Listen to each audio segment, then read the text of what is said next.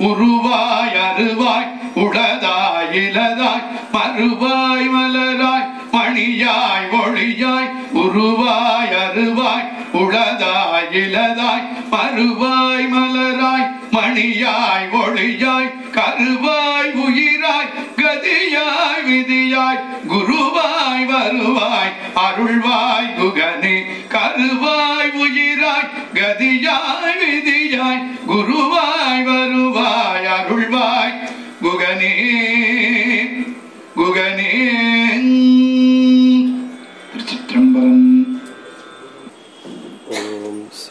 भवतु सहनौ भुनक्तु सह वीर्यं करवावहै तेजस्विनावधीतमस्तु मा विद्विषावहै ॐ शान्ति शान्ति शान्तिः அருணகிரிநாதர் அருளிய பாடல்களை திருப்புகழ் என்று நாம் அழைக்கின்றோம்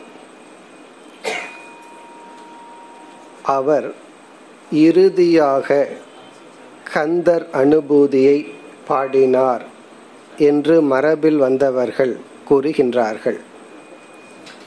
அதற்கு பிறகு அவர் விதேக முக்தி அடைந்ததாக பேசுகின்றார்கள். அந்த கந்தர் அனுபூதியில் நாம் எடுத்துக்கொண்டது இறுதி பாடல். ஆகவே அருணகிரிநாதருடைய இறுதி பாடலை இன்று நாம் சிந்தனைக்கு எடுத்துக்கொண்டுள்ளோம் கந்தர் அனுபூதி என்ற சொல்லினுடைய பொருளை இப்பொழுது பார்ப்போம். ஸ்கந்தக என்ற சொல்லிற்கு மேல் நோக்கி செல்லுதல் என்பது பொருள். ஞானி உயர்ந்தவன் உயர்ந்து செல்லுதல் என்றெல்லாம் பொருள். அனுபூதி என்ற சொல்லிற்கு பலவத் ஞானம் என்பது பொருள். பலவத் ஞானம் என்றால் நாம் அடைந்த எந்த அறிவு நமக்கு பலனை கொடுக்கின்றதோ அந்த அறிவை அனுபூதி என்று சொல்கின்றோம். அனுபூதி என்றால் நாம் எத்தனையோ விதமான அறிவை அடைந்துள்ளோம். எந்த அறிவு நமக்கு பலனை கொடுக்கின்றதோ அந்த அறிவைத்தான் அனுபூதி என்று சொல்ல வேண்டும்.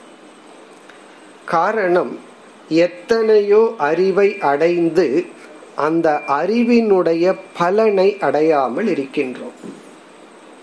எப்படி யோகாசனம் செய்ய வேண்டும் என்ற அறிவை அடைந்துள்ளோம். ஆனால் அந்த பலனை அடைந்துள்ளோமா என்றால் யோசிக்க வேண்டும். அல்லது இப்படித்தான் வாழ வேண்டும் இதை பேச வேண்டும் இதை பேசக்கூடாது என்றெல்லாம் அறிவு நமக்கு இருக்கின்றது. இந்த பொருளை உட்கொள்ள வேண்டும் இந்த பொருளை தவிர்க்க வேண்டும். இந்த பழக்கம் நமக்கு வேண்டும் இந்த பழக்கம் வேண்டாம் என்ற எத்தனையோ அறிவை அடைந்தும் அந்த அறிவுக்கு தடைகள் நம்மிடத்திலிருந்தே இருக்கின்றன. அந்த அறிவு பல சமயத்தில் பலனை கொடுப்பதில்லை. ஆகவே எந்த ஒரு அறிவு நமக்கு பலனை கொடுப்பதாக நம்மிடத்தில் உள்ளதோ அந்த அறிவைத்தான் அனுபூதி என்று சொல்கின்றோம். இப்ப இறைவனை பற்றிய விசாரத்தை மேற்கொள்கின்றோம். ஏதோ புத்தியில் இறைவனை பற்றிய அறிவு இருக்கின்றது.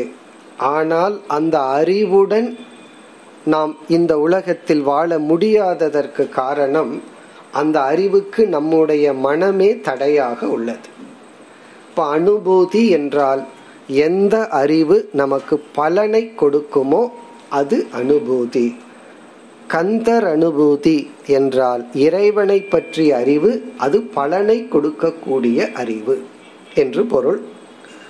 இந்த தலைப்பில் அருணகிரிநாதர் உருவாய் அருவாய் என்ற ஒரு இறுதி பாடலை நமக்கு தந்துள்ளார்.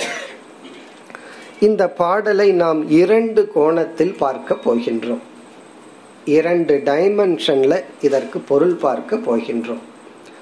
அது என்ன என்றால் இது போன்ற பாடல்களை எல்லாம் மகான்கள் வந்து பல கோணங்களில் எழுதியுள்ளார்கள்.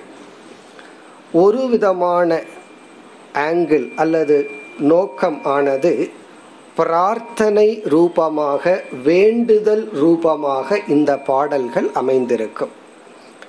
அது திருவாசகமாகலாம் அல்லது நாயன்மார்களுடைய மற்ற பாடல்களாகலாம் அருணகிரி போன்ற மகான்களுடைய பாடல்களாகலாம் வேண்டுதல் ரூபமாக பல பாடல்கள் இருக்கும். அது முதல் ரகம்.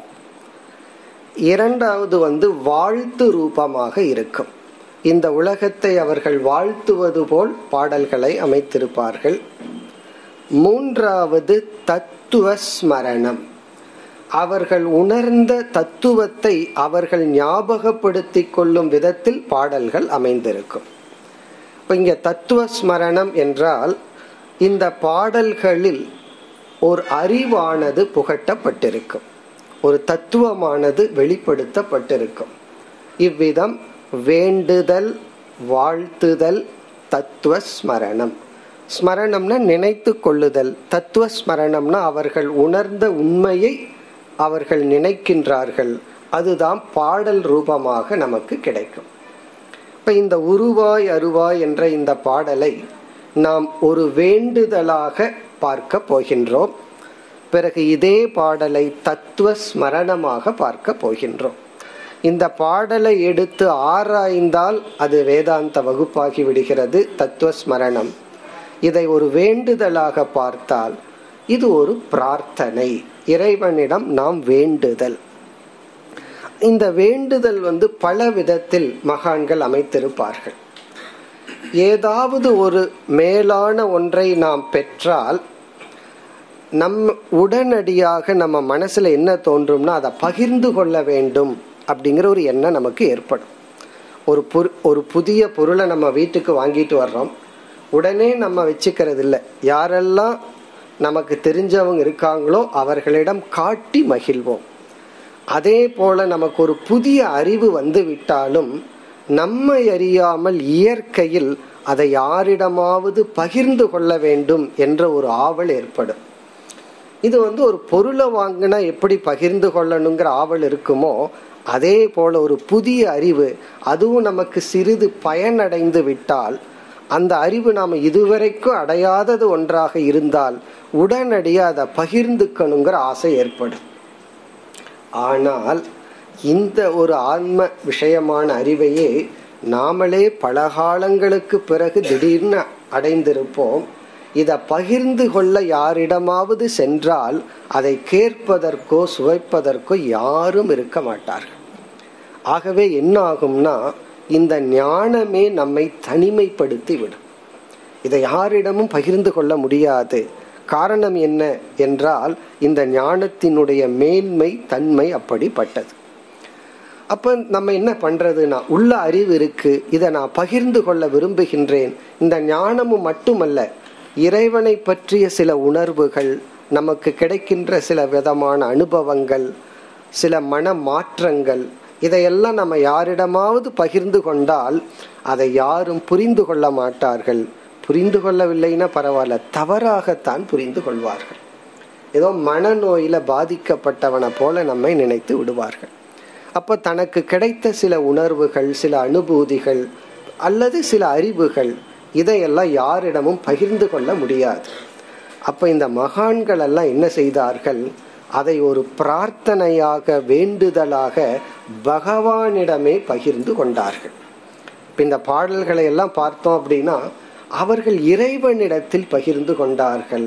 அதை நம்ம படிக்கும் பொழுது அந்த உணர்வுகளை நாம் உணரும் பொழுது அதுதான் நம்முடைய ஆன்மீக பாதையினுடைய ஏணி படிகள். அப்படி இந்த பிரார்த்தனைகள் வேண்டுதல்கள் இறைவனிடம் ஒரு பகிர்ந்து கொள்வதாக இருக்கும். இறைவனிடம் ஒரு வேண்டி விண்ணப்பம் எடுப்பதாக இருக்கும்.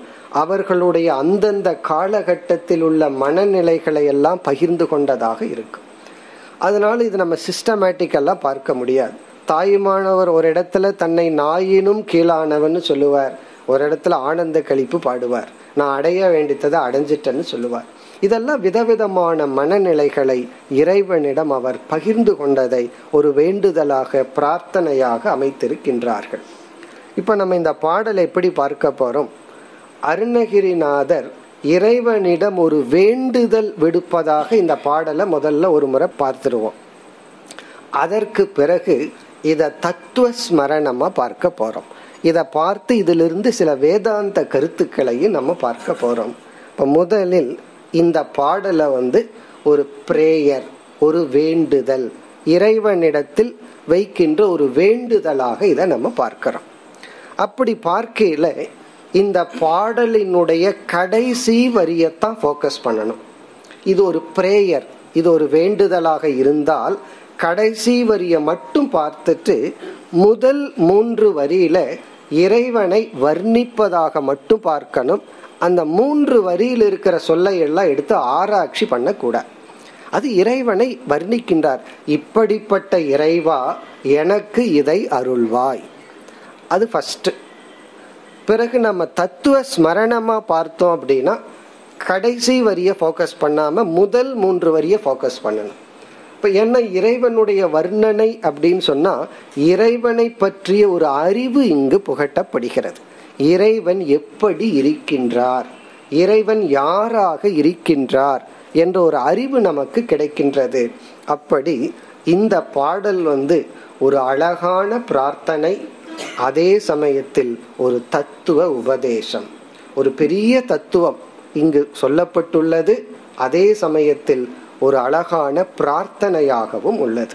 இப்ப நம்ம என்ன பண்றோம்? பிரார்த்தனையாக இந்த பாடலை பார்ப்போம்.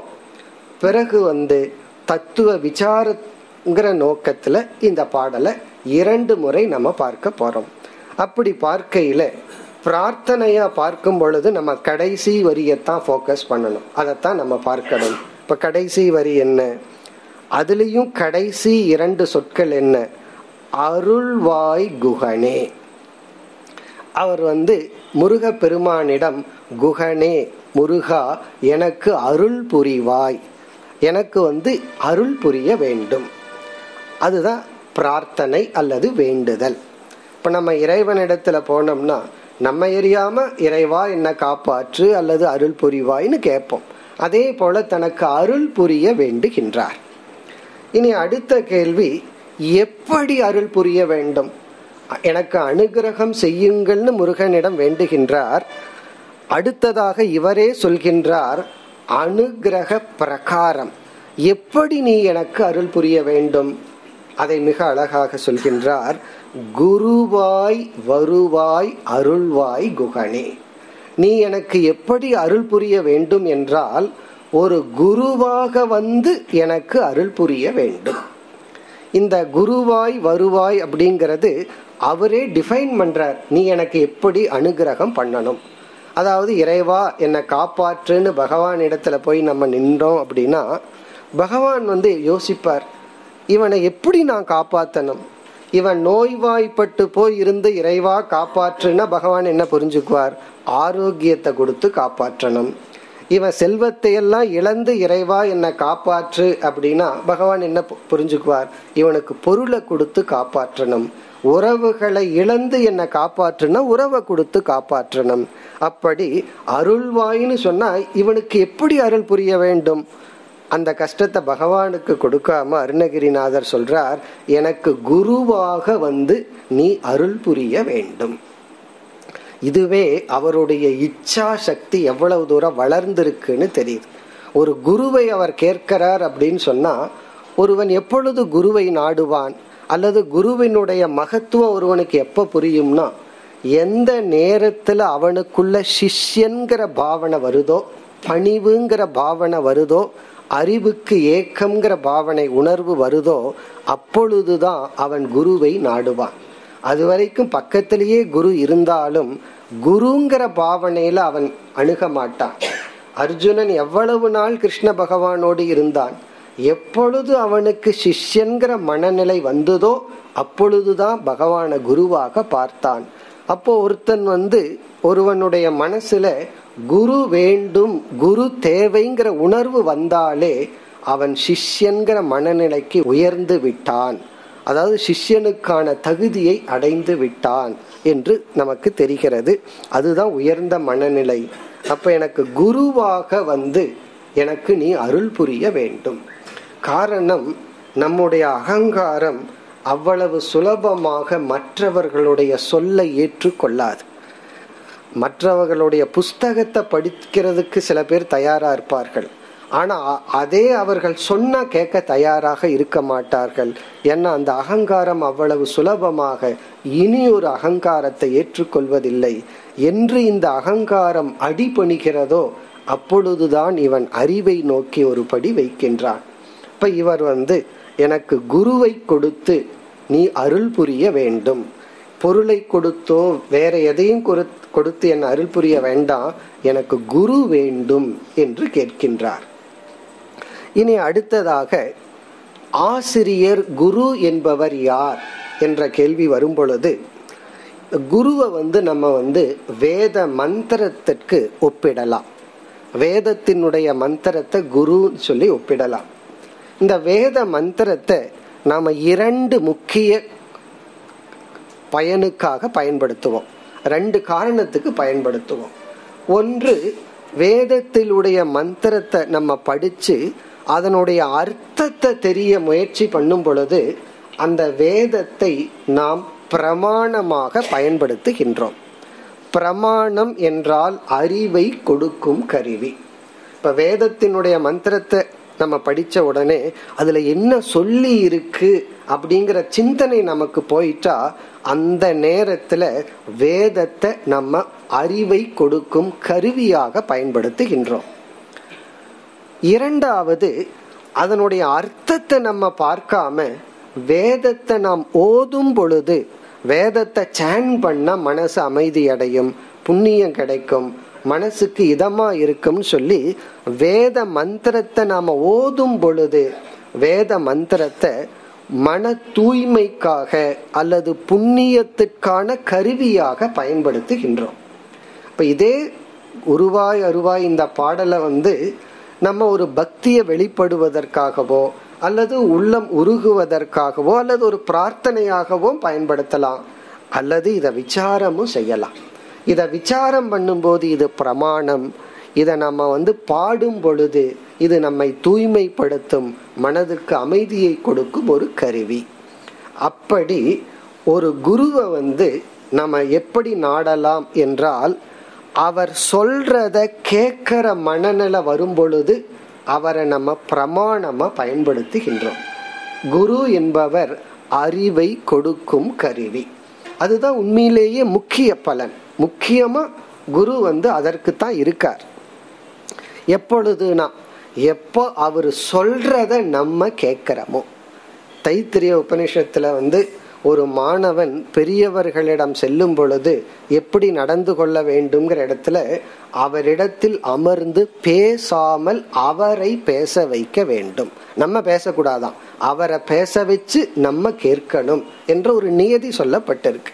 அப்போ எப்பொழுது கேட்கின்ற மனநிலை ஏற்பட்டு குரு சொல்லும் வாக்கியத்துல கவனம் போகுதோ அப்ப குருவை நம்ம அறிவை கொடுக்கும் கருவியா பயன்படுத்துறோம்.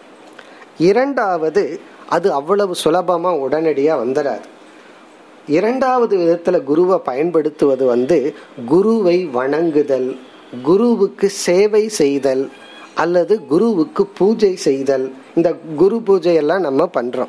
இப்ப அந்த இடத்துல பார்த்தோம்னா அவர் எவ்வளவோ சொல்லிட்டு போயிருப்பார்.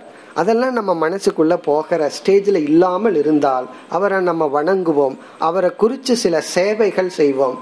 இப்ப குருவினுடைய பிறந்த நாள் அல்லது அவர் சமாதி அடைஞ்ச நாள்ல சில பேர் சில சிஷ்யர்களெல்லாம் சில சேவைகள் செய்வார்கள். இப்ப இதெல்லாம் என்னன்னா குரு நிமித்தமா இதெல்லாம் செஞ்சோம்னா நமக்கு வந்து மன தூய்மை ஏற்படும். அப்ப குரு வந்து ஞான சாதனம் சுத்தி சாதனம். ஒரு நம்மை தூய்மைப்படுத்த ஒரு சாதனையாக குருவை நம்ம பயன்படுத்தலாம். அல்லது ஞானத்தை அடைய ஒரு சாதனையாக பயன்படுத்தலாம். இது சாஸ்திர ரீதியா. ஆனா சில பேர் இன்னும் ஒரு படி இறங்கி வந்து அவருக்கு ஏதாவது பண்ணுனா நமக்கு புண்ணியம் கிடைக்கும் அதனால பொருள் கிடைக்கும்னு லௌகிகமாகவும் செய்வார்கள். சாஸ்திரம் வந்து அதை தவறுன்னு சொல்லவில்லை. காமிய கர்மம் பண்றதோ அல்லது வந்து உலகத்திலிருந்து ஏதாவது ஒரு பொருள் அனுபவிக்கணும் இன்பத்தை அனுபவிக்கணும் பொருளை அனுபவிக்கணுங்கிறதுக்காக குருவை வழிபட்டாலும் தவறில்லை. குரு ஸ்தோத்திரத்துல புக்தி முக்தி பிரதாதாச்சன்னு சொல்லப்பட்டிருக்கு. அவர் புக்தியும் கொடுப்பார் முக்தியையும் கொடுப்பார். எப்பொழுது சாஸ்திரம் வருதுன்னா நாம் அனுபவிக்கிற இன்பங்கள் வந்து தர்மத்திற்கு புறன்பா அதர்மத்தின் மூலமா அனுபவிச்சா தான் சாஸ்திரம் தவறுன்னு சொல்லுது. தர்மத்துக்குட்பட்டு நாம எந்த இன்பத்தை அனுபவித்தாலும் சாஸ்திரம் வந்து அதை ஏற்றுக்கொள்கின்றது. அது தவறு அல்ல. அப்படி குருவை வந்து லௌகிக இன்பத்துக்காகவும் நம்ம குருவை பயன்படுத்தலாம். மன தூய்மைக்காகவும் பயன்படுத்தலாம். ஒருவன் குரு குலத்துக்கு போறான். கொஞ்ச நாள் குரு சொல்றதெல்லாம் இவனுக்கு புரியல. உடனே குரு என்ன செய்வார்? கொஞ்ச நாள் எனக்கு சேவை பண்ணு ஆசிரமத்துக்கு சர்வீஸ் பண்ணும்பார். அப்ப என்ன ஆகும்? அந்த சேவை அவனுக்கு தூய்மையை கொடுக்கும். பிறகு அவர் சொல்வது அவனுக்கு விளங்க ஆரம்பிக்கும். இவ்விதம் குருவாய் வருவாய் அருள்வாய் குகனேங்கிற இடத்துல இறைவா எனக்கு நீ குருவாக வந்து என்னை தூய்மைப்படுத்தும் சாதனையாகவும் அறிவை கொடுக்கும் கருவியாகவும் இருக்க வேண்டும் என்று இவர் கேட்கின்றார். இது நம்ம கையில் இருக்க. ஒரு குருவை எப்படி பயன்படுத்துவது? அது நம்ம கையிலின நம்முடைய பக்குவத்தை பொறுத்து இருக்கின்றது. இதுதான் இந்த பாடலினுடைய வேண்டுதல். வேற இவர் எதுவும் வேண்டவில்லை. நீ எனக்கு குருவாக வந்து அருள் புரிய வேண்டும். நீங்கள் படித்திருப்பீர்கள் அருணகிரிநாதருடைய வாழ்க்கையில குருவா வந்தவர் அவருக்கு உபதேசம் உபதேசம் செய்த மந்திரம் என்ன? சும்மா இரு சொல் அற. இதுவே ஒரு பெரிய வாக்கியம். சும்மா இரு சொல் அற. அது வந்து குரு அவருக்கு உபதேசம் செய்த வாக்கியம். அதாவது குரு ஸ்தானத்திலிருந்து ஒருவர் பேசும்போது அந்த வார்த்தைக்கு சில சக்திகள் இருக்கு. அதை நம்ம என்னதான் நம்மளாக நினைச்சாலும் நம்ம மனசுல அந்த மாற்றம் வராது. அது அந்த ஒரு ஸ்ரத்தையுடன் ஒரு மகானிடமிருந்து கேட்கும் பொழுதுதான் அதற்கு ஒரு தனி சக்தி இருக்கின்றது. இவருக்கு வந்து கிடைச்ச வாக்கியம் என்னன்னா சும்மா இரு. சொல் அற என்றால் பகவான் வந்து அந்த சும்மா இருன்னா மௌனமா இருன்னு அர்த்தம். அந்த மௌனத்தை கீதையில பகவான் வந்து மானச தவம்னு சொல்றார். பொதுவா மௌனம்ங்கிறது வாய் பேசாம இருக்கிற தவம்னு சொன்னாலும் வேறொரு ஆங்கிள் நம்ம வாய் பேசாத அன்னைக்கு மனசுக்குள்ள ரொம்ப பேசிட்டு இருப்போம். பேசுறதுக்கு ஆள் கிடைக்கலன்னா நமக்குள்ளேயே ஒரு துவைதத்தை உருவாக்கி பேசிட்டு இருப்போம். அப்ப மௌனம் அப்படிங்கிறது இரண்டற்ற எனக்கு பேசுறதுக்கும் விஷயம் இல்லை பேசுறதுக்கு ஆளும் இல்லைன்னு சொல்லி அந்த அத்வைத நிலையத்தான் சும்மா இரு சொல்லறன்னு சொல்லியிருக்கார். இந்த சும்மா இரு சொல்லற இஸ் ஈக்குவல் டு அத்வைத தத்துவம். அப்படி ஒரு குரு விட்டிருந்து ஒரு வாக்கியத்தை அவர் கேட்டு அத்வைதத்தை உணர்ந்த இந்த மகான் வந்து தன்னுடைய கடைசி பாடலா ஆரம்பத்தில் இருக்கிறவர்களுக்கு ஒரு பிரார்த்தனையா இருக்கணும்னா குருவாய் வருவாய் அருள்வாய் குகனே. அப்ப நமக்கு வந்து என்ன சொல்லி கொடுக்கிறார்னா நீ எத்தனையோ பொருளை இறைவன்கிட்ட கேட்கிற நீ குருவை கேட்க வேண்டும். குருவை கேட்க வேண்டும்ங்கிற எண்ணம் உனக்கு வந்தாவே நீ சிஷ்யனாக மாறி விடுவாய் பிறகு உனக்கு குருவினுடைய அனுகிரகம் கிடைக்கும். இதுதான் அவருடைய பிரார்த்தனை. இந்த பிரார்த்தனையாக இந்த பாடலை பார்த்தோம்னா முதல் மூன்று வரிய இறைவனுடைய வர்ணனையாகத்தான் எடுத்துக்கணுமே தவிர இறைவனை விளக்கும் தத்துவமா நம்ம பார்க்க வேண்டிய அவசியம் இல்லை அப்படி நம்ம பார்த்தோம்னா எப்படிப்பட்ட குகன் என்னுடைய இஷ்ட தேவதையான முருகன் எப்படி இருக்கின்றார் என்றால் உருவாய் எதையெல்லாம் நான் உருவத்தோடு பார்க்கின்றேனோ அதெல்லாம் என்னுடைய முருகப்பெருமான் தான். இப்போ உருவாய் என்றால் எதெல்லாம் உருவத்துடன் மூர்த்தமாக இருக்கின்றதோ அதெல்லாமே இந்த முருக கடவுள்தான் அதாவது வந்து இஷ்ட தேவதைனா சிறு வயதுல நமக்கு எந்த ஒரு உருவத்தை ஒரு பெயரை நமக்கு அறிமுகப்படுத்தி இறைவன் சொல்லி கொடுத்தார்களோ அது இஷ்ட தேவதை. பிறகு சாஸ்திரம் என்ன செய்கின்றது? அந்த இஷ்ட தேவதையை ஈஸ்வரனாக மாற்ற வேண்டும். ஈஸ்வரனோடு ஐக்கியப்படுத்த வேண்டும். இவர் அந்த குகனை ஐக்கியப்படுத்துகின்றார். நான் பார்க்கின்ற அனைத்து உருவாகவும் நீ இருக்கின்றாய். இங்க அவ்வளவுதான். அதுக்கு மேல விசாரம் கிடையாது. அதுக்கு மேல விசாரம் பண்ணா தத்துவஸ்மரணம் ஆகிவிடும். அடுத்தது வந்து அருவாய். அருவாய் என்றால் எதெல்லாம் உருவம் இல்லாமல் இருக்கின்றதோ ஆகாசம் முதல் கொண்டு கால தத்துவம் முதல் கொண்டு அவைகளாகவும் அந்த முருகப்பெருமானே இருக்கின்றார். இப்ப எதெல்லாம் உருவமாக இருக்கின்றதோ எதெல்லாம் உருவமற்றதாக இருக்கின்றதோ அதெல்லாம் அந்த இறைவனே. இப்படியெல்லாம் சொல்லி இப்படிப்பட்ட இறைவா எனக்கு ஒரு குருவாக நீ வந்திருந்து அருள் தர வேண்டும். அது பிரார்த்தனை. இனி அடுத்தது வந்து உளதாய். உளதாய் என்றால் யாருக்கு ஸ்ரத்தை நம்பிக்கை என்று ஒன்று இருக்கின்றதோ அவர்களுக்கு இறைவன் இருக்கின்ற தத்துவமாக இருக்கின்றார். ஆரம்பத்துல வந்து இறைவனை பற்றிய அறிவை அடைஞ்சதுக்கு அப்புறம்தான் இறைவனுடைய இருப்பை நாம் ஏற்றுக்கொள்வது என்பது கிடையாது. இறைவன் யாருன்னு தெரியாமலேயே நம்பிக்கையினால் ஸ்ரத்தையினால் மட்டும் இறைவனை நம்மால் ஏற்றுக்கொள்ள முடியும். ஆகவே உளதா என்றால் யாருக்கு ஸ்ரத்த இருக்கின்றதோ அவர்களுக்கு இறைவா முருகா நீ இருப்பவனாக இருக்கின்றாய். இருக்கின்ற சத் வஸ்துவாக இருக்கின்றாய். அடுத்தது வந்து இளதாய். இளதா என்றால் யாருக்கு ஸ்ரத்த இல்லையோ அவர்களுடைய மனதில் நீ இல்லாதவனாக இருக்கின்றாய். இப்ப இளதாய் அப்படின்னா நீ இல்லாதவன். யாருக்கு இல்லாதவன்? யாருக்கு ஸ்ரத்த இல்லையோ நம்பிக்கை இல்லையோ அவர்களுக்கும் நீ எப்படி இருக்கின்றாய்? இல்லாதவனாக இருக்கின்றாய். இந்த இடத்துல நம்ம தர்க்க சாஸ்திரத்துக்குள்ள போனோம்னா ஒரு பொருளை இல்லை என்று சொன்னால் ஒரு பொருள் இல்லை இல்லை என்று சொன்னால் அதற்கு ரெண்டு சொல்லி ஆகணும். இப்போ ஒருவர் வர்றார் இல்லை அப்படின்னு சொல்றார். உடனே நம்ம கேட்போம் என்ன இல்லை? அப்போ இல்லாமைக்கு அசத்துக்கு விஷயத்த சொல்லணும். என்ன இல்லை? உடனே அவர் சொல்றார் தண்ணீர் இல்லை அப்படின்னு சொல்றார். அடுத்தது நம்ம என்ன கேட்போம் எங்க இல்லை? உன்னுடைய கிளாஸ்ல இல்லையா? அல்லது வந்து டேங்க்ல இல்லையா? அல்லது குளத்துல இல்லையா? எங்கு இல்லை? இந்த எது இல்லை அது எங்கு இல்லைன்னு சொல்லி ஆகணும். இந்த இரண்டு சொல்லாம இல்லைங்கிற வார்த்தையை நம்ம பயன்படுத்தவே முடியாது. அப்போ நம்ம இல்லை என்றால் எது இல்லை எங்கு இல்லை. இப்போ ஒருத்தன் இல்லைன்னு சொல்றான் அது யாரை இல்லை இல்லைன்னு சொல்ற? இறைவனை இல்லை என்று சொல்கின்றாய். அடுத்தது நம்ம கேட்கிற அவர் எங்கு இல்லை? இல்லைன்னு நீ சொல்றையே அதுக்கு ஒரு லொக்கேஷன் அதுக்கு ஒரு இடத்த சொல்லணும்னா அவர் என்ன சொல்லுவார்? எல்லா இடத்துலையும் தான் இல்லை அப்படின்னு சொல்லுவார். பிறகு யோசிச்சு பார்த்தோம்னா இப்போ இந்த இடத்துல பூனை இருக்கான்னு கேட்டால் நீங்கள் இல்லைன்னு சொல்வீர்கள் என பார்த்து விட்டீர்கள். அந்த இடத்துல இருக்கான்னு சொன்னா தெரியாதுன்னு தான் சொல்லணும். அந்த இடத்த பார்த்ததுக்கு அப்புறம்தான் இல்லைன்னு சொல்லணும். எல்லா இடத்திலும் இல்லைன்னு சொல்றதுக்கு எனக்கு அருகதை இல்லை. நான் எல்லா இடத்தையும் பார்க்கலையே. நான் பார்த்த கொஞ்சம் இடத்த மட்டும் நான் பார்த்துட்டு எல்லா இடத்திலும் எப்படி நான் இல்லைன்னு சொல்ல முடியும்? ஆகவே என்னுடைய முருகப்பெருமான் எப்படி இருக்காரா?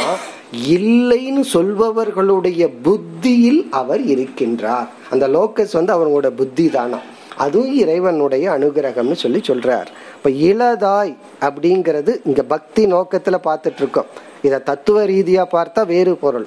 இப்ப பக்தியின் அடிப்படையில பார்க்கும் பொழுது நம்பிக்கை உடையவர்களுக்கு இருப்பவராகவும் நம்பிக்கை இல்லாதவர்களுக்கு இறைவன் இல்லாதவனாகவும் இருக்கின்றார்.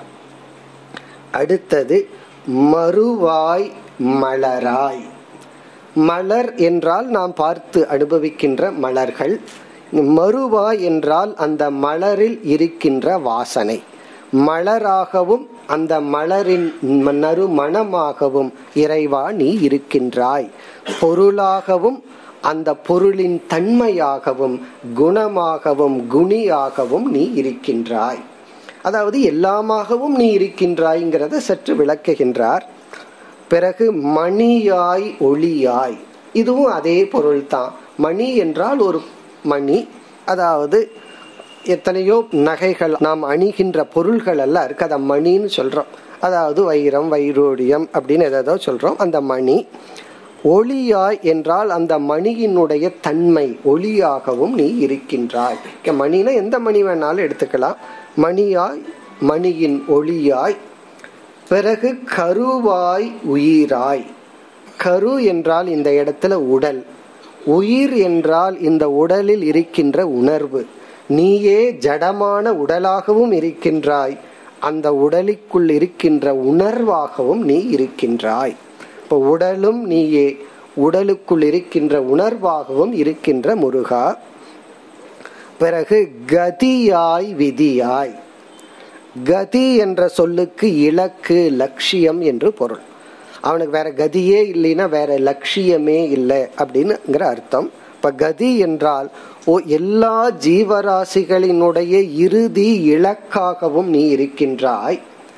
விதியா என்றால் அந்த இலக்கை நோக்கி செல்லும் பாதையாகவும் நீ இருக்கின்றாய். இப்ப கதியாய் விதியாய் என்றால் எல்லா குறிப்பா இங்க மனிதர்களுடைய இலக்காகவும் அந்த இலக்கை நோக்கி செல்லும் பாதையாகவும் இருக்கின்றாய். இப்ப நம்ம பழனி மலைக்கு மேல போகணும் அப்படின்னா நம்மளுடைய இலக்கு வந்து மேல போறோம். அதற்குடைய பாதை என்னன்னா அதுவும் மலை தான் அப்போ மலை என்ற பாதை வழியாக அந்த இலக்கை அடைகின்றோம். அப்ப இரண்டு ஒன்று தானே அந்த ஹில்ஸ் அப்படிங்கிறது பாதை தான் நம்ம த- ஆகாயத்திலிருந்து நம்ம வந்து அந்த மலை உச்சிக்கு போறதில்லை. மலை வழியாக சென்று மலை உச்சியை அடைகின்றோம். அப்ப யார்னா கதியும் நீயே விதியும் நீயே. இங்க விதி என்றால் பாதை கதி என்றால் இலக்கு. இரண்டும் நீதான். இமயமலையை நம்ம சுத்தி பார்க்க போனோம்னா நம்ம ஒரு டெஸ்டினேஷன் வச்சிருப்போம் பத்ரிநாத்தோ கேதார்நாத்தன்னு வச்சிருப்போம். அதை விட ரொம்ப அழகா இருக்கிறது அந்த பாதை தான். ஆகவே அந்த பயணம்தான் டெஸ்டினேஷன் பயணமே இலக்கே தவிர அங்க இலக்குன்னு ஒண்ணு வைக்கிறதுனால நம்ம போக முடியுது. அதே போல இரண்டும் நீயாக இருக்கின்றாய். இப்படி இந்த மூன்று வரிய இறைவனுடைய ஒரு வர்ணனையாக இறைவனை புகழ்வதாக நாம எடுத்துக்கொண்டு பிறகு வேண்டுதல் குருவாய் வருவாய் அருள்வாய் குகனே. இந்த திருப்புகழ்ங்கிறதுக்குமே ஒரு பெரிய தத்துவ அர்த்தம் இருக்கு. திரு என்றால் உத்தமமான புகழ் என்றால் சொரூபம்னு அர்த்தம். பரா சொரூபம் இறைவனுடைய அதாவது பரா பிரகிருதி அபரா பிரகிருதிங்கிறது போல இறைவனுடைய மேலான சொரூபம் என்று பொருள். இப்ப திரு என்றால் உத்தமமான அழியாத நித்தியமான புகழ் என்றால் சொரூபம். அப்ப திருப்புகழ் அப்படின்னு சொன்னா இறைவனுடைய மேலான சொரூபத்தை வர்ணிக்கின்ற பாடல்கள் என்று பொருள். அப்படி இந்த முதல் மூன்று வரிகள் இறைவனுடைய திருப்புகழை பாடி திருப்புகழை கூறி கடைசி வரியில் எனக்கு குருவாக வந்து அருள் புரிய வேண்டும். இப்ப இதை கேட்டு நம்ம என்ன புரிஞ்சுக்கணும்னா நம்ம வேண்டுவது வந்து குருவை வேண்டும் அப்படிங்கிறத விட சிஷ்யனுடைய மனநிலையை அடைய வேண்டும். அதுதான் நம்முடைய பிரார்த்தனை. சிஷ்யனுக்கு என்னென்ன தன்மைகள் இருக்கோ அதை அடைய வேண்டும். உபனிஷத்துல ஒரு பிரார்த்தனையில சிஷ்யனுக்கு இருக்கிற ஏ தர்மாகா தேமை சந்து. அதாவது சிஷ்யனுக்கு என்னென்ன தர்மங்கள் எல்லாம் இருக்கோ அதெல்லாம் என்னிடத்தில் இருக்கட்டும் என்று ஒரு பிரார்த்தனை உண்டு. அதுதான் இந்த ஒரு பிரார்த்தனை. இப்ப இந்த ஒரு வேண்டுதல்ல இவர் வந்து ஒரு மேலான நிலையில இருந்து நான் ஒரு சிஷ்யன்கிற மனநிலையில் இருந்து எனக்கு ஒரு குருவை அருள வேண்டும். இப்படிப்பட்ட இறைவா. இப்ப இத்துடன் இதை வந்து நம்ம எப்படி நிறைவு பண்றோம்? ஒரு பிரார்த்தனையாக இந்த பாடலை நிறைவு பண்றோம். பிறகு இதே பாடலை வந்து தத்துவ ஸ்மரணமாகவும் நம்ம பார்க்கலாம். இப்போ உபனிஷத்துக்கள்ல சகனாவது சகனவ் புனத்துங்கிறதெல்லாம் ஒரு வேண்டுதல். என்னையும் குருவையும் காப்பாற்ற வேண்டும்னு ஒரு வேண்டுதல். பூர்ணமத பூர்ணம் இதம்ங்கிற பாடல் வந்து அங்க வேண்டுதல் கிடையாது தத்துவ ஸ்மரணம். அங்கு வந்து அதுவும் பூரணம் இதுவும் பூரணம் சொல்லி அங்க தத்துவ ஸ்மரணமா இருக்கு. அப்படி இரண்டு தனித்தனி சாந்தி பாடங்கள். ஆனா இந்த பாடல் டூ இன் ஒன் போல இதுல இரண்டும் கலந்துள்ளது. இனி நம்ம வந்து இத தத்துவ ரீதியாக பார்ப்போம். அப்படி தத்துவ ரீதியா பார்க்கும் பொழுது குருவாய் வருவாய் அருள்வாய் குகனேங்கிறத நம்ம பாஸ்ட் டென்ஸா மாத்திரணும். நீ குருவாக வந்து எனக்கு அருள் புரிந்து விட்டாய். நீ வந்து எனக்கு ஒரு குருவாக வந்து அருள்வாய்னா அருள் புரிந்து விட்டாய். எப்படி அருள் புரிந்து விட்டாய்? முதல் மூன்று வரியில சொல்ற அறிவை எனக்கு கொடுத்து இறைவனை பற்றி இப்படிப்பட்ட அறிவை எனக்கு புகட்டி நீ எனக்கு அருள் புரிந்து விட்டாய். அப்ப முதல் மூன்று வரியை இப்ப நம்ம ஃபோக்கஸ் பண்ணிடணும். அதை நம்ம உற்று பார்த்தோம்னா இறைவனுடைய சொரூபம் விளக்கப்படுகின்றது. இறை தத்துவம் இங்கு விளக்கப்படுகின்றது. உபனிஷத்தினுடைய சாராம்சத்தை இங்கு இவர் முதல் குறிப்பா முதல் வரியில இரண்டே சொல்லல அவர் வைத்துள்ளார். இரண்டே சொல்லுதான். அந்த இரண்டு சொல் வந்து உளதாய் இளதாய். நம்ம முதல்ல வேற அர்த்தம் பார்த்தோம். இப்ப முற்றிலும் வேறொரு அர்த்தம் பார்க்க போறோம். இந்த உளதாய் இளதாய்ங்கிற வார்த்தையிலேயே உபனிஷத்தினுடைய சாராம்சம் அடங்குகிறது. என்ன உபனிஷத்தின் சாராம்சம்? பிரம்ம சத்தியம் ஜெகன் மித்யா. இதுதான் சாஸ்திரத்தினுடைய மைய கருத்து. நம்ம எவ்வளவு படிச்சாலும் கடைசியில இதைத்தான் நம்ம புரிஞ்சுக்க போறோம். நம்ம என்னென்னலாம் படிச்சோமோ அந்த சொற்கள் எல்லாம் மறந்து போலாம். அந்த ஸ்லோகங்கள் மறந்து போலாம். அது தவறே இல்லை. இந்த இரண்டே இரண்டு வார்த்தையினுடைய அர்த்தம் இருந்தா போதும். மித்தியாங்கிற வார்த்தையும் வாயில வராட்டி பரவாயில்ல. அந்த அர்த்தம் உள்ள இருந்தா போதும். அதைத்தான் இங்க வைத்துள்ளார். இத வித்யாரண்யர் வேறொரு கோணத்துல சொல்றார் அஸ்தி பாதி பிரியம் ரூபம் நாம சேத்யம்ச பஞ்சகம் ஆத்தியத்ரயம் பிரம்ம ரூபம் ததோத்வயம் ஜெகத் ரூபம்னு சொல்லி சொல்றார். ஜெகத் ரூபம் ததோத்வயம் இப்ப இந்த ஸ்லோகத்துல அவர் என்ன சொல்றாருன்னா இந்த உலகத்தில் இருக்கிறது எல்லாம் அஞ்சா பிரிச்சிருவோம். என்னென்னலாம் இருக்கோ அதை அஞ்சா பிரிச்சிருவோம்னு சொல்லி ஃபர்ஸ்ட் லைன்ல அஞ்சா பிரிக்கிறார். ஒன்று அஸ்தி. அஸ்தினா எந்த ஒரு பொருள் இருக்கின்றதோ அது அஸ்தி சத். பாதி என்றால் அறிவு சுரூபமாக இருக்கின்றதோ. எந்த ஒரு பொருள் இருக்கோ இருக்குன்னா எல்லா காலத்திலும் இருக்கோ பாதி என்றால் எந்த ஒரு பொருள் ஜடமா இல்லாம உணர்வு பூர்வமா இருக்கோ மூன்றாவது பிரியம் ஆனந்தமாக பூர்ணமாக இருக்கின்றதோ வரையறுக்கப்படாமல் இருக்கின்றதோ. அப்போ இருத்தல் உணர்வு ரூபமாக இருத்தல் வரையறுக்கப்படாமல் இருத்தல் இப்படி ஒரு மூன்று. இனி ஒரு இரண்டு தத்துவம் நாம ரூபம். நாம அப்படின்னா ஸ்பெயர் ரூபம் என்றால் உருவம். இப்படி அஞ்சு இருக்கு. அதாவது அஸ்தி பாதி பிரியம் ரூபம் நாம சேத் அம்ச பஞ்சகம் இந்த உலகத்தில் இருக்கிற அனைத்தையும் இந்த அஞ்சு அம்சமா பிரிச்சிடலாம். இதுல வந்து முதல் மூன்று அம்சம் பிரம்மத்தை சார்ந்தது. அதாவது வந்து இதுல வந்து ஆத்தியத்ரயம் பிரம்ம ரூபம் ஆத்தியத்ரயம்னா அஸ்தி பாதி பிரியம்ங்கிறது. அது பிரம்மத்தை சார்ந்தது. ஜெகத் ரூபம் ததோத்வயம் இந்த ஜெகத்தை சார்ந்தது நாம ரூபம். அப்போ நம்ம இப்ப எப்படி பார்க்கிறோம்னா பிரம்மன் ஒரு பொருள் இருக்கு. அந்த பொருள் இருப்பதாக இருக்கின்றது. உணர்வு பூர்வமாக இருக்கிறது வரையறுக்கப்படாமல் இருக்கின்றது. பிறகு ஜெகத்துன்னு ஒன்று இருக்கு அது நாம ரூபமாக இருக்கின்றது. இந்த நாம ரூபம்னா என்ன? நாம என்றால் ஒரு பொருளுக்கு நாம் கொடுக்கின்ற ஒரு பெயர் ஒரு சொல். இப்ப ஏதோ ஒரு பொருள் எடுத்துக்கிறோம் அந்த பொருளுக்கு வந்து ஒரு பெயர் சூட்டுகின்றோம் பானை அப்படின்னு சொல்றோம். நம்ம வேதாந்தத்துல சொல்ற உதாரணமே எடுத்துக்குவோம் பானை. இப்போ பானை அப்படிங்கிறது ஒரு சொல். அந்த சொல்லுக்கு ஒரு உருவம் இருக்கு. அதுதான் ரூபம் அப்படின்னு சொல்றோம். இந்த நாமத்தினுடைய தன்மை என்னன்னு பார்த்தோம்னா பானை அப்படின்னு சொல்றோம். இந்த சொல் எவ்வளவு நேரம் இருக்கு? அது ஒரு செகண்டு தான் அது இருக்கு. கேட்கிற நேரம் வரைக்கும் தான் அது இருக்கு. அதுக்கப்புறம் அது இல்லாம போயிருது. ஆனா அந்த சொல் என்ன பண்ணுது? அது ஒரு உருவத்தை காட்டி கொடுத்துறது இல்லாம போயிருது. ஆகவே அந்த நாமத்தை நம்ம வந்து பொய்ன்னு புரிஞ்சுக்கிறது சுலபம். காரணம் என்ன? அது ஒரு க்ஷணம்தான் இருக்கு. பானைன்னு சொல்றோம். கேட்குற நேரம் தான் இருக்கு. அதுக்கப்புறம் அந்த அந்த சொல்ல காணும். அதே போல அந்த பானை எவ்வளவு நாள் இருக்கு? இந்த சொல்லு இந்த நாமம் இருக்கே அது ஒரு செகண்ட் இருக்கு. இந்த பானை எவ்வளவு நாள் இருக்குன்னு பார்த்தோம்னா அது எவ்வளவு நாள் இருந்துடும் ஒரு நூறு வருஷம் இருக்குன்னு வச்சுக்குவோமே. இந்த கால கணக்குல நம்ம புராணத்துல போனா காலத்தினுடைய கணக்கு எடுத்தோம் அப்படின்னா அந்த கணக்குல நூறு வருஷத்துக்கும் ஒரு செகண்டுக்கு என்ன வித்தியாசம்? நாற்பதாயிரம் அடி உயரத்துல நம்ம ஃப்ளைட்ல போகும்போது தென்னை மரத்துக்கும் புல்லுக்கு என்ன வித்தியாசத்தை பார்த்துட போறோம்?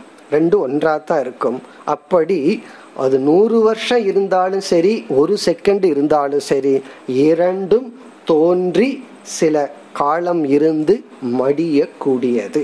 அப்ப இந்த உலகம் என்னன்னா நாம பார்த்து அனுபவிக்கின்ற அனைத்தும் தோன்றி கொஞ்ச நாள் இருந்து பிறகு இல்லாமல் போகும். இப்படி இருக்கின்ற தத்துவத்தை தான் ஜெகத் அல்லது மித்யா அப்படின்னு சொல்றோம். இது உண்மையிலேயே இருக்கான்னு கேட்டா இல்லை. ஆகவே இந்த ஜெகத்தினுடைய சத்தியமான ஸ்டேட்டஸ் உண்மையான தன்மை என்னன்னா அசத். இல்லை. அப்ப ஏன் இல்லைன்னு நீங்க சொல்ல மாட்டேங்கிறீங்கன்னா அது இடைப்பட்ட காலத்துல அனுபவத்துல இருக்கிறதுனால அதை இல்லைன்னு சொல்ல வேண்டாம். அந்த இடைப்பட்ட காலத்துல அனுபவிக்கிறதுனால தான் சாஸ்திரத்துல மித்தியா அனுருதம்ங்கிற வார்த்தைய உருவாக்கி உள்ளார்கள். மித்தியா அப்படின்னா எது உண்மையிலேயே இல்லையோ ஆனா நம்ம அனுபவத்துக்கு இருக்கிற மாதிரி இருக்கோ அது மித்தியா. அது இந்த ஜெகத் இந்த உலகம். அல்லது நாம பார்த்து அனுபவிக்கின்ற அனைத்தும் நம்ம உடல் உட்பட. பிறகு எது சத்தியம்? பிரம்ம. அந்த பிரம்மன் அப்படிங்கிறது இந்த உலகத்துக்கே ஆதாரமா இருந்தா. அனைத்து நாம ரூபத்துக்கும் ஆதாரமா இருந்தா பிரம்மன்னு சொல்றோம். இந்த உடலுக்கு மட்டும் ஆதாரமா இருந்தா ஆத்மான்னு சொல்றோம். ஆகவே இந்த ஆத்மாவாக இருக்கிற பிரம்மன் தான் சத்தியம். இந்த ஜெகத் மித்தியா இப்ப இந்த கருத்தை தான் இங்கு நாம் பார்க்கின்றோம் உளதாய் இளதாய்.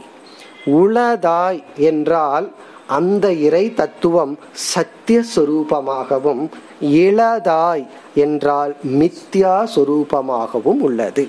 அதுவே சத்தியமாகவும் மித்தியாவாகவும் இருக்கு.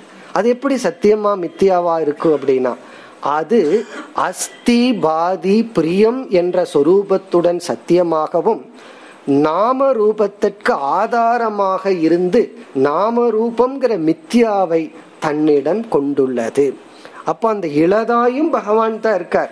இந்த இடத்துல இந்த இளதா இல்லைங்கிறது எப்படி பார்க்கணும்னா இல்லை என்ற சொரூபத்தை கொண்டவராக இருக்கின்றாய்னு அர்த்தம். இல்லை நீங்க நெகேட் பண்ணல. இல்லாத சொரூபமான நாம ரூபத்தை ஆதாரமாக கொண்டவனாகவும் பிறகு உளதாய் உளதாய்னா சத் சுரூபமாக சித் சுரூபமாக ஆனந்த சொரூபமாகவும் பிறகு இளதாய் இல்லாத நாம ரூபத்திற்கு மித்யாவான நாம ரூபத்திற்கு ஆதாரமாகவும் இருக்கின்றாய். இப்ப இந்த இரண்டே சொல் உளதா இளதாய் வேதாந்தமே முடிஞ்சாச்சு. அப்படி இந்த முதல் மூன்று வரிய ஆராய்ச்சி செய்தால் நமக்கு இறை ஞானம் கிடைக்கும். இப்ப நம்ம இதை எப்படி பார்க்கலாம்னா அருணகிரிநாதர் தன்னுடைய கடைசி பாடல்ல தன்னுடைய அறிவை வெளிப்படுத்தி இப்படிப்பட்ட அறிவை குருவாக வந்து இறைவா நீ எனக்கு அருள் புரிந்து சென்று விட்டாய் அப்படின்னு அவர் பூர்த்தி செய்கின்றார். இனி உருவாய் அருவாய் என்றால் இதுவும் நம்ம உபனிஷத்திலிருந்து எடுத்துக்கொண்டால் மூர்த்தா மூர்த்த பிராமணம்னு சொல்லி இந்த சிருஷ்டிய வேறொரு கோணத்துல உருவம் அருவம் என்று பிரிக்கப்பட்டுள்ளது. அப்படி இறைவா நீ அனைத்து உருவமாகவும் அருவமாகவும் அல்லது உருவாய் அருவாய்ங்கிறது காரண காரிய ரூபமாக நீ இருக்கின்றாய். இந்த அனைத்து நாம ரூபங்களும் காரணமாக இருந்தால் அது அருவாய் அது வெளிப்பட்டால் அது உருவாய். உபனிஷத்துல அப்படித்தான் அர்த்தம் சொல்லப்பட்டிருக்கு. எங்கெல்லாம் வெளி தோற்றத்திற்கு வராம இருக்கோ அது காரண சொரூபம் வெளி தோற்றத்திற்கு வந்தது காரியம். அப்போ உருவாய் என்றால் மேனிஃபெஸ்ட் அருவாய் என்றால் அன்மேனிஃபெஸ்ட் ஃபார்ம் நீயே வெளி தோற்றத்திற்கு வந்ததாகவும் வராததாகவும் இருக்கின்றாய். பிறகு மறுவாய் மலராய் மணியாய் ஒளியாய் இதுவும் அந்த மித்யா தத்துவத்தை விளக்குகின்றது. நீ வந்து ஆதாரமாகவும் அதனுடைய குணமாகவும் இருக்கின்றாய். இந்த உருவாய் அருவாயை தான் மறுவாய் மலராய் மணியாய் ஒளியாய். அப்படி நாம் எடுத்துக்கொள்ள வேண்டும். அதாவது நீயே உருவமாக வெளித்தோற்றத்திற்கு வந்ததாகவும் வராததாகவும் குணமாகவும் குணியாகவும் இருக்கின்றாய். பிறகு கருவாய் உயிராய். கருவாயின உடலாகவும் இங்க உயிராய் என்றால் இந்த உடலுக்குள் சிதாபாசனாகவும் நீயே வெளிப்பட்டு இருக்கின்றாய் சிதாபாசம்னா உடல் ஜடம். இந்த உடலுக்குள் இருக்கிற மனமும் சாஸ்திர ரீதியா ஜடம்தான். ஆனா அதற்குள் இருக்கிற உணர்வு இருக்கே. அந்த உணர்வு அந்த உணர்வாக நீ இருக்கின்றாய். அதாவது வந்து உயிராயின பிரதிபிம்ப சைத்தன்யமாகவும் ஜடமான உடலாகவும் பிம்ப சைத்தன்யமாகவும் நீ இருக்கின்றாய். அதாவது இப்படிப்பட்ட அறிவை குரு எனக்கு உபதேசித்தார். பிறகு அடுத்தது என்ன? கதியாய் விதியாய். கதியாய் விதியாய் நம்ம ஏற்கனவே பார்த்த அர்த்தம் தான் அதாவது புருஷார்த்தமாகவும் புருஷார்த்த சாதனையாகவும் நீ இருக்கின்றாய். இந்த சாஸ்திரத்துல முதல்ல நம்ம வேதாந்தத்துக்குள்ள போனோம்னா ஃபர்ஸ்ட் டிஸ்கஸ் பண்ற டாபிக்கே புருஷார்த்தம். நம்ம வேதாந்தம் படிக்க போனோம்னா முதல் விசாரம் என்னன்னா உன்னுடைய மனிதனுடைய லட்சியம் என்ன?